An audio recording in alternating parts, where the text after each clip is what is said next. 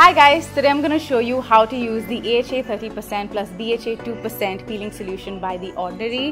It is a serum textured mask that helps clear congested pores and also exfoliates the skin and helps brighten the skin. It is a very concentrated formula that should be used a maximum of two times a week and should not be used on sensitive or peeling skin. Apply a thin layer evenly across a clean dry face, avoiding the eye area, ideally in the PM. Leave on for a maximum of 10 minutes and then rinse thoroughly with lukewarm water.